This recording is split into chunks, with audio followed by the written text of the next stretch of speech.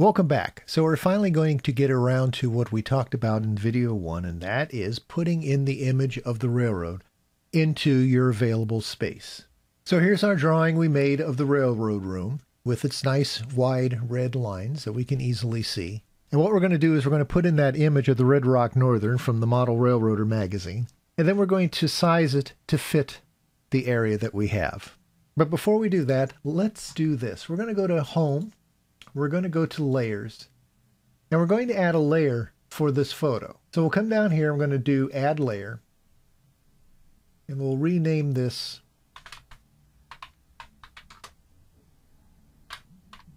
hit enter. That's now our active layer. Now the next thing we want to do is we want to freeze the room outline layer. And the reason we're going to do this is because we don't want to accidentally change the location of anything we have on that layer. So we're going to come down here to Room Outline, and we're going to click this Open Lock here. You'll notice that Room Outline changed to red, and the lock is now closed. That means I can't grab anything and move it around on that layer. Everything on that layer is frozen in place. I can still come over and look at it, and down at the bottom, I can get the information about it, but I can't move it. I can't edit it in any way. It's always a good idea to lock layers that have any items on it that you don't want to move. Okay, so let's uh, put in that picture of the Red Rock Northern. Let's deselect that. We're going to come up here. We're going to go to Insert. What we're going to do is we're going to type in the dimensions of the rectangle that we're going to be adding. And the rectangle will contain the picture of the Red Rock Northern. So we know the original layout is 9 by 11 feet. So what we'll do is we'll set the width here to 132 inches, and we'll set the height to 108 inches. Then we'll come over here, we're going to click on Add Rectangle, come down here. I'm going to put my cursor in the middle of the drawing because whenever you add anything like a surface, a rectangle, or a circle, the insert point is always the center of that item. So I will left click now, and there is a 9 by 11 foot rectangle. Next thing we want to do now is we want to come over and we want to select the rectangle. You don't select a rectangle or a circle or a surface by clicking in the middle. You have to come out to the edge. Notice how the edge gets highlighted and you click the edge. When you do that, the outline becomes highlighted. You get a little handle up here. You could rotate it that way. Or you can right click on the edge of the rectangle and that'll pull up the sub menu and you can do things like delete, rotate, flip, all that kind of good stuff. Right now, what we're concerned about is we'll highlight that and that brings up the tools, surfaces, sub menu. And these are all the things that you can do to that rectangle and that's explained in video 42 in more detail. But right now, what we're going to want to do is we're going to come over here and we're going to do load image. So I'll click on that and it brings up the folder where I have all of my images. And we're going to select the Red Rock Northern. Hit open. Wait. And there it is. And now we want to place this image into the upper left-hand corner of our room because that's going to be the starting point for all of our modifications. So let's go up here. Now it's hard to see, but there's a little circle up in that corner. Let's zoom in a little bit on that. And you'll see that point right there. Go back out. I'm going to hover over that. I'm going to click on it. And it brings up another sub menu. And this time, it allows me to place the XY coordinates of that circle. Now, I can move that circle. It's called a point. I can move just that point, or I can move the entire surface. And let me show you the difference real fast. So we're going to put it up here in this corner, which is 12 12. So let's put in 12, 12, hit enter, and look what happens. It moved just that point. So let's undo that. Let's select it again. Now, I'm going to say move surface. And we're going to put in 12 and 12. And now it moved the entire image right up into the corner. So it's at the exact starting point that we want for this drawing. Okay, so now what we want to do is we want to expand this drawing in the Y dimension. so that it fills the room all the way down to this wall here. So what we're going to do is we're going to come over here. We're going to click on the border. We're going to call up this submenu again. We're going to come over here and we're going to type in the dimensions that we want for our image. And this is only for the image. This width and height does not affect the rectangle. It only affects the size of the image. Now next to that is a box that says maintain aspect ratio. So that means if I change this dimension here in the height, it will also change the width to maintain the aspect ratio. We don't want that right now, so we're going to turn that off. Then we're going to come down here and we're going to select the height and we're going to put in 121.5 inches and hit enter. And you'll notice that it moved in the y dimension but did not move in the x dimension. You'll also notice that you can't see the entire drawing now.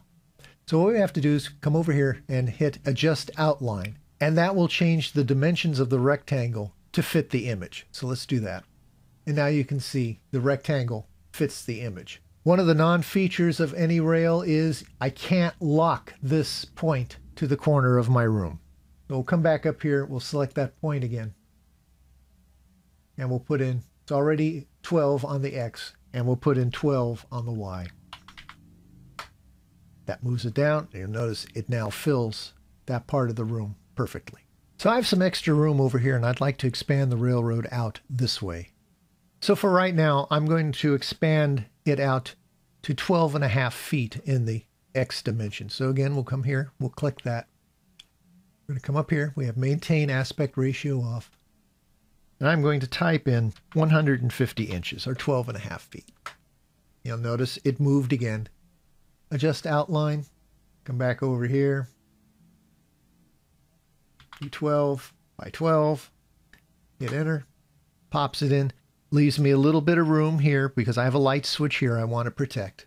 And I've just expanded the original 9 by 11 to be a 10 by 12 and a half foot railroad. Let me take this out real fast. We're going to delete that.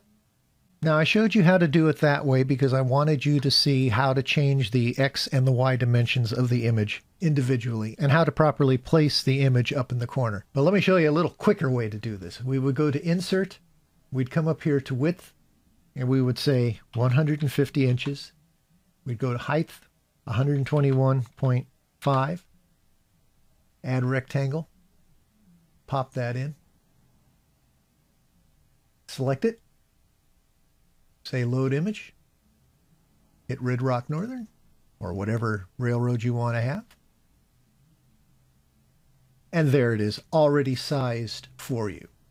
Then you just come up here and do 12 by 12, and you're done. So if you have an image like this and you know the final dimensions, that's the quick way to do it. But I wanted to show you the other way because that way I could show you how to do the X and the Y individually. Now, using this insert method, you can put an image into anything you want. You can put it into a circle, you can put it into a rectangle, you can put it into a surface. And I believe it's for adding scenery elements to your final design. So let's say you did that and you're not happy with that image and you wanted to do another image. Well, it's easy to take it out. You just come up here and hit remove image and away it goes and you're left with your rectangle. Let's put the image back in. Another thing you can do, this is kind of cool.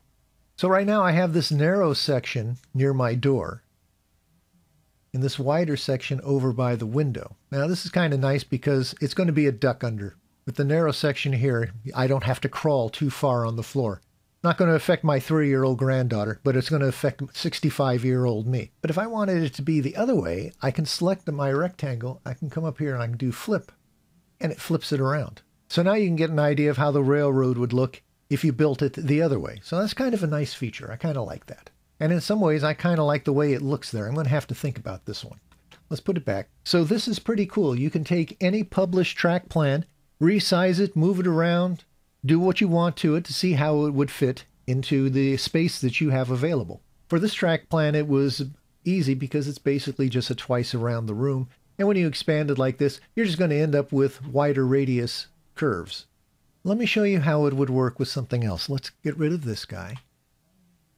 What we're going to do is we're going to insert a 4 by 8 table. So our width will be 96 and our height will be 48.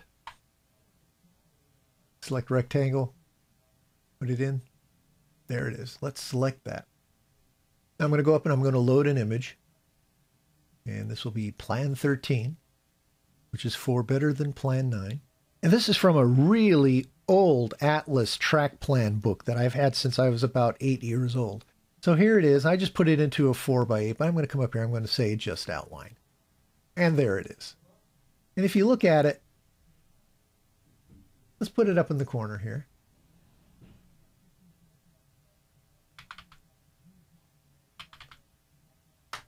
You'll notice in the Y dimension, it came out pretty good.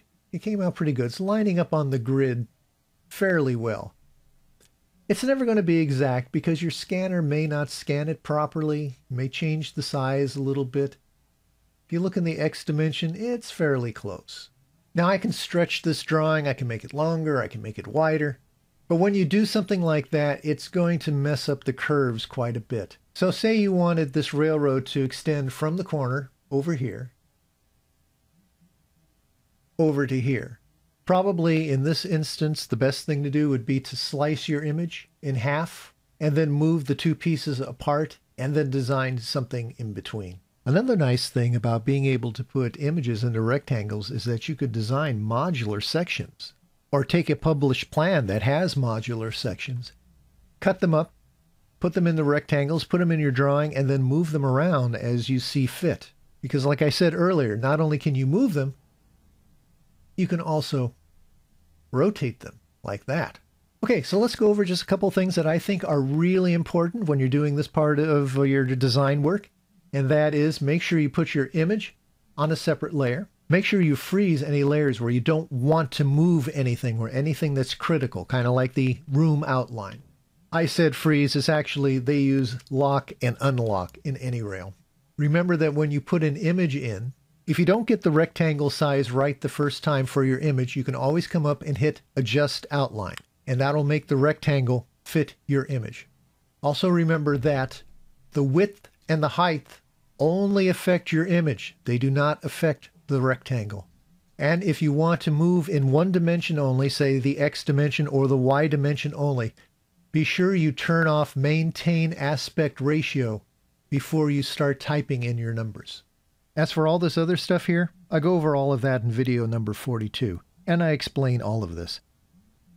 The bring forward, the send back, the fill color, the line color, and transparency. That's all in video 42, and I recommend that you check that one out. Okay, that's it for this one. In the next video, we'll start adding track to the Red Rock Northern Track Plan. Hope to see you then.